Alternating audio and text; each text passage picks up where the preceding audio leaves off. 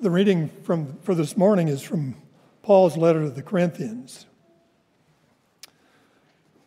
But for right now, friends, I am completely frustrated by your unspiritual dealings with each other and with God. You're acting like infants in relation to Christ, capable of nothing much more than nursing at the breast.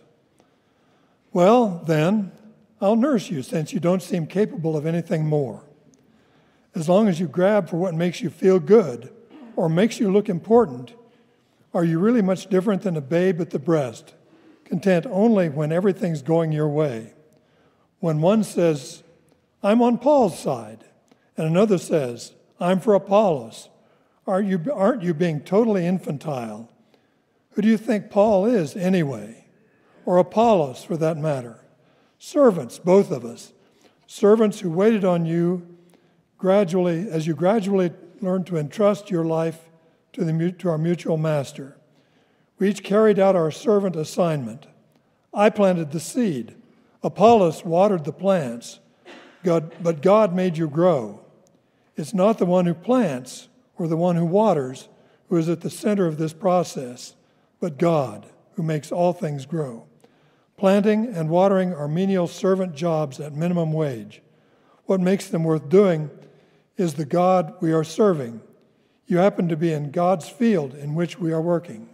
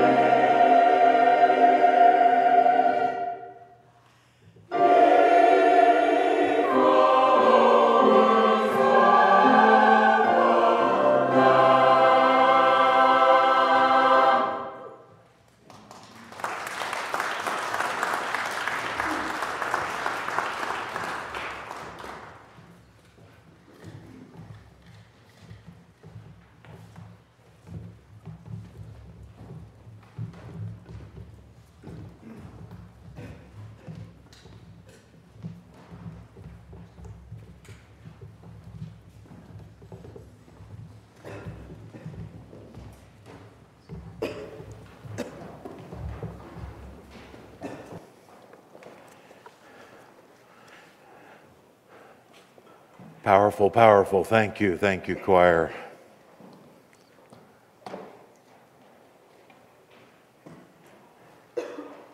In today's scripture, the latest in our sermon series on what the opening chapters of what of Paul's first letter to the Corinthians might have to teach us, Paul changes course.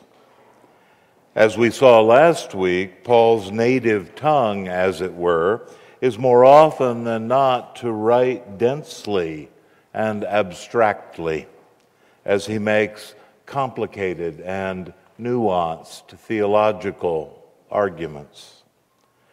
Despite his self effacing claim that he came to Corinth and founded the church using no fancy rhetoric, the evidence is otherwise. And that's not a bad thing. For think about our day. Twitter, with its limitation of 140 characters per message per tweet, has shown us that important discussions about both public policy and the meaning of Christian life are shortchanged as discussion turns into diatribes and as gotchas become the goal instead of civil discussion. Over simplistic expressions of the faith can be both misleading and destructive. You only have to listen to some of the well meaning but theologically horrid things that people say, well meaning people say to parents who have lost a child, to know that sometimes simplicity is hurtful. Oversimplified slogans, such as the one we've no doubt all seen. God said it, I believe it, that settles it. They do a terrible injustice to both the richness of the gospel and the ambiguity and complexity of human life. And such slogans encourage us to be mindless in our faith, even when certain expressions of that faith seem to suggest that God is a tyrant or a bully. As Galileo once famously said, himself a victim of oversimplistic theology, quote, I do not believe that the same God who has endowed us with reason and intellect intends for us to forego their use. So, to my mind, Paul need not apologize for the way he thoughtfully, if sometimes complicatedly, seeks to share his faith in Jesus. For a faith that can be captured in the space of a tweet or in the confines of a bumper sticker or in the words of a slogan just won't prove to be very helpful when life is hard and hurtful. When questions come our way, as they will, when sleepless 3 a.m. moments have us wondering if God truly cares. In today's scripture, though, Paul takes a breath, as it were, from such complexity and seeks to illustrate what he has been saying with two metaphors and with those two metaphors, he adds to his resume the title not just of apostle, but now that of dietitian and horticulturist as well. There are two main themes, remember, in these opening chapters of 1 Corinthians. First, the situation where the Corinthians are bickering with each other about which leader among them should be the most influential. And second, Paul's description of what he calls the foolishness of the cross as truly showing the nature of God. In our verses today, he returns to the Corinthians' bickering and offers this dietitian metaphor. And while Eugene Peterson's translation sometimes goes well beyond translation and into paraphrase, his rendering here does capture Paul's exasperation and annoyance. Hear it again. I'm completely frustrated with you, Paul says, by your unspiritual dealings with each other and with God. You're acting like infants in relation to Christ, capable of nothing more than nursing at the breast. Well, then, I'll nurse you since you don't seem capable of anything more. What's Paul's point with his shift to this metaphor? Well, first, he's telling the Corinthians that those who are new to the faith indeed need a simple, but never oversimple or simplistic understanding of the gospel, and that those who would make fun of such folks are bullies. When you are new, when you are new to any endeavor, you need simple. When I was first learning to fly, my instructor wisely had me concentrate on just one thing, trying to keep the plane going in a straight line. Instead of immediately adding in all the other complexities that are needed if you're going to be a proficient pilot, such as holding your altitude, that's kind of crucial, and going in the direction that you actually intended to go, that's important as well, and communicating with air traffic control, and on and on. When you're new to the gospel, simple is good. Jesus loves me, this I know is a wonderfully and appropriately simple formulation for someone who is new to the faith. But simple food, milk alone, is not enough if we are to grow. One writer puts the point rather charmingly. Listen to her words. Quote, the process of maturing in faith, she says, can be a messy business, just as the process of introducing solid food to an infant can be fraught with problems. For, just as a child can mistake pureed vegetables for finger paint, or can misunderstand that nostrils are not the appropriate orifice through which to ingest food, so too our explorations of God's love and message expressed to us in Jesus can sometimes create similar chaos. And chaos is not too strong a word here. For life is inevitably going to bring all of us to those times when Jesus loves me, this I know all by itself is just not an adequate diet. Because sometimes you will ask, can he really love me when I have done such an awful thing? Or, what does it matter when life is so beating up on me? Or in the face of death and grief, we all will inevitably sometimes wonder what difference does it make? And so, Paul will go on to say a simple diet of theological milk, the Gerber gospel, as one writer put it, will not be enough if you truly want to grow your faith.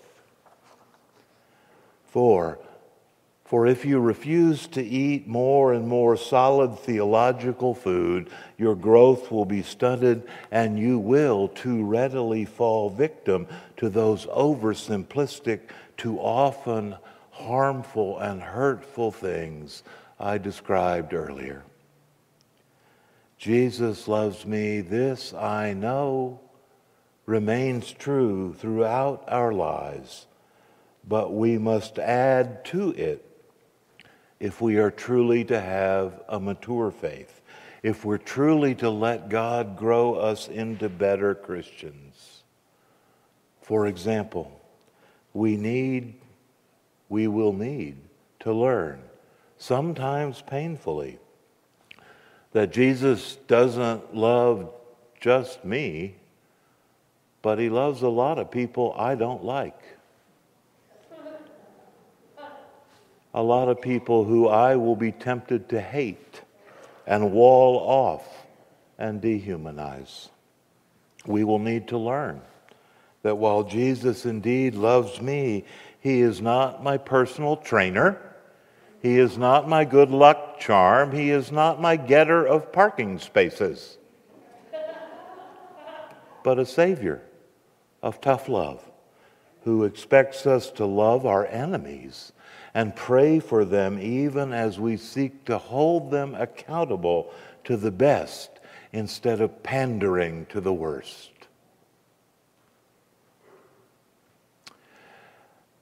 Now, after Paul's foray into pediatric dietetics, he now becomes a horticulturist. Again, in the context of saying to the Corinthians why they're bickering over which leader they like best is both pointless and harmful to their witness to a needy world. Again, listen to how he puts it. Who do you think Paul is anyway? Or Apollos? Servants, both of us, servants who waited on you as you gradually learned to entrust your lives to our mutual master. I planted the seed, he says. Apollos watered the plant, but God made you grow. It's not the plants or the one who waters, but God who makes things grow. Now, it's always a little ironic of course, for me to preach on agricultural or horticultural images. After all, I have been known to say that the reason that I don't do gardening is because I have not yet found any bacon seeds. Be that as it may, Paul's point here goes back to what he's been saying about how the Corinthian and their bickering hurts their witness to the world. Their fighting and their fractiousness about who has, as it were, more Facebook likes and more Twitter followers, Paul says, makes the world around them skeptical. Now, there certainly are things that we ought to contend with we ought to contend with each other about as we grow in our faith together. We need we need to challenge each other to expand our empathies and imaginations about who is our neighbor. We need to always keep talking about how we balance our care for each other with our care for those in the world who don't yet know the God of unconditional love that we know. We need to argue from time to time about how we will best be a community that shows that we truly welcome everyone. Those things will grow us, and they will show the world that we care about crucial things, not trivia. But when we squabble about whether our December Starbucks cups ought to be more Christmassy, or when we spend our energies on the silly claim that American Christians are somehow persecuted, then the world rolls its eyes and says it's not just that they fight, It's that they fight about stupid stuff. Why would I want to be a part of that?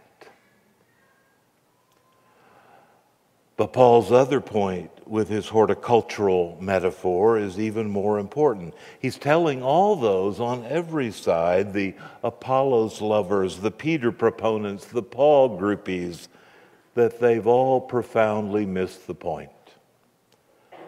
One of the goals of Christian life in community is to grow in our faith, to move beyond that simple Gerber gospel.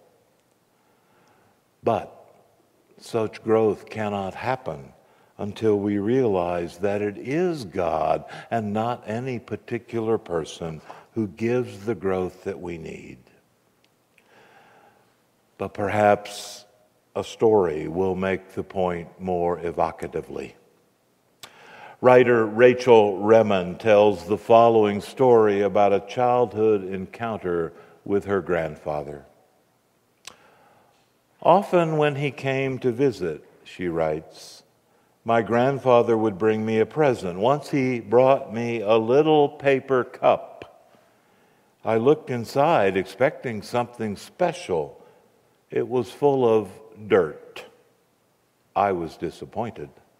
He smiled at me fondly, and turning, he picked up from my doll's tea set the little teapot and filled it with water and Back in the nursery, he put the little cup on the windowsill and handed me the teapot and said, If you promise to put some water in the cup every day, something may happen.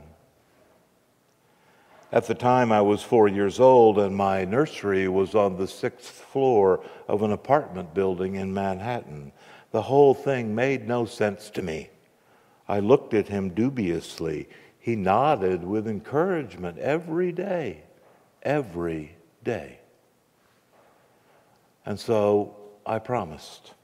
At first, curious to see what would happen, I did not mind doing this, but as the days went by and nothing changed, it got harder to remember to put water in the cup. After a week, I asked my grandfather, Is it time to stop yet? All he said was, Every day every day. The second week was even harder, and I became resentful of my promise to put water in that cup. But I didn't miss a single day.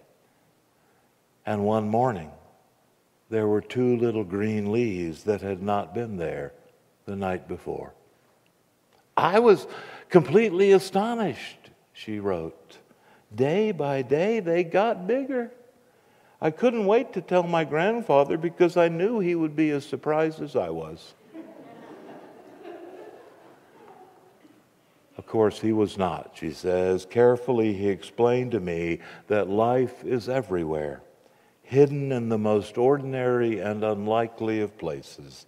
And all it needs is water, Grandpa? I asked him. Gently, he said, No, all it needs is your faithfulness. We dare not let our fighting over inconsequential things keep us from witnessing to the foolishness of the gospel. We dare not let our bickering over minutiae keep us from fighting against those who would demonize and dehumanize those whom Jesus has told us to call our neighbors. We dare not wall ourselves off from what God is trying to grow in our little cups of dirt for the sake of a needy world. For what God needs Indeed, as Rachel's grandfather said, is our faithfulness and not our fear. What God needs is our confidence and not our cowardice. What God needs is not our eagerness for building barriers, but our work to forge friendships across lines of nation, race, culture and orientation. What God needs is not our excuses, but our energy. What God needs is not our acquiescence to evil, but our resolve for righteousness. I planted the seeds, Apollos watered the plants, but God made you grow. It's not the one who plants or waters, but God who makes things grow. How then, how then will you invite God to continue to help you grow?